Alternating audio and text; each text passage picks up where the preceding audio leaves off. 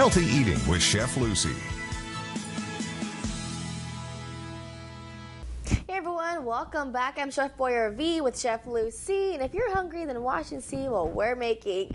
Welcome back, Chef Lucy. Thank you for having me again. of course, tell everyone what we're making today. An amazing recipe, really easy, overnight oats, but we're gonna add some ingredients that you're gonna like. We're gonna add a little bit of uh, Greek yogurt that is gonna add protein, Okay. and then of course the fiber from the oats. So I'm using, you can use the um, gluten-free oats or regular oats, all depend on what you need. And this is very easy recipe. We can just make it like ahead of time, a night, and then you're gonna have some breakfast in the morning. Have it ready. Yeah, and over here vanilla and maple syrup just to give it a little bit of flavor and sweetness to the recipe. And also I'm adding some of the cinnamon and this one is going to help us to control our cravings and um, regulate the sugar in, our, in the body. Okay, the Greek yogurt over here.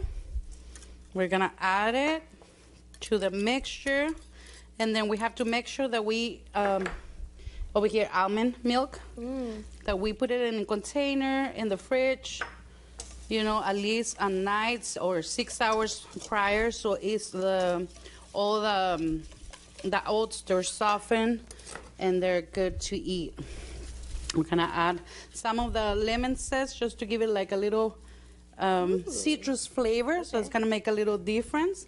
And you can add some strawberries in there just to have like all the juices from the strawberry and the flavor. So just gonna cut a few. We're gonna put them, and also we're gonna put some more on top in the morning. Okay. So once you have all the mixture, you're gonna put them in the fridge. Forget about that.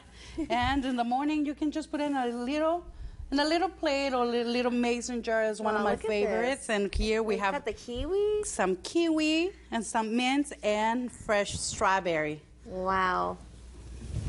Kiwi is one of my favorite fruits. I was just telling her. Yeah, high in vitamin C Yes. with the strawberries and the kiwi, so it's gonna help us, you know, like boost our immune system. And then with all the fiber and the protein, like it can go, it can mm. be better. Oh yeah.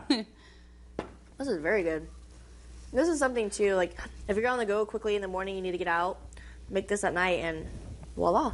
Yeah, and We have oh, you can also have it like a simple snack, like after work. If you're really hungry, you don't have like you can have something already made while you're Absolutely. making dinners. hmm Well, it's something definitely I will be using. Please, if you would like to learn more about this and more recipes, you can visit kyma.com or Topmeals.com. we'll be right back. Thank you.